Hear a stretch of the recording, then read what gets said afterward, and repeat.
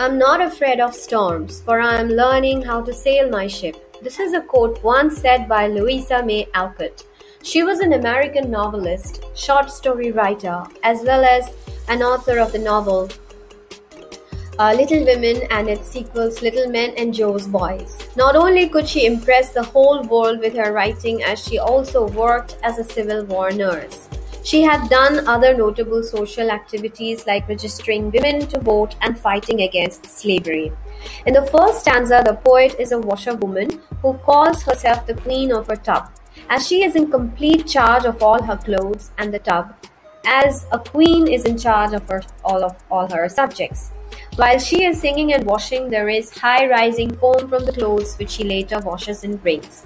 Then she leaves them to dry, and the washed clothes then swing in the fresh air and dries. Just like clothes, people's hearts also are stained by different kinds of feelings like distress, hatred, greed, anger, etc. In the second stanza, the poet wishes that the heart's stains could also be washed away, like the magic in the air, just like uh, just like uh, like magic. The air and water cleans the stains away from the dirty clothes. In the same manner, she wishes and she says how wonderful it would be if, uh, like the pure pure water and air, they could also they just like they wash the dirt from our clothes. She was she wondered if it could have also cleansed the stains of our hearts too. Then on earth there would be indeed a glorious washing day.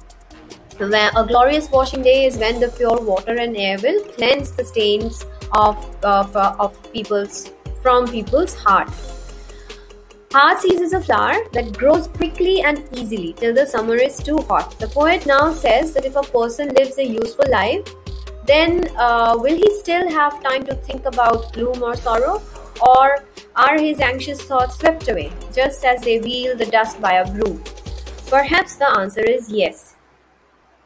As the poet is happy that she has a duty to perform, that of washing clothes, she works all day and she's healthy, she's strong and hopeful. She's so happy about the fact that she works that she uh, says that she allows her head to think, she allows her heart to feel, but her hands are only meant to work and always work.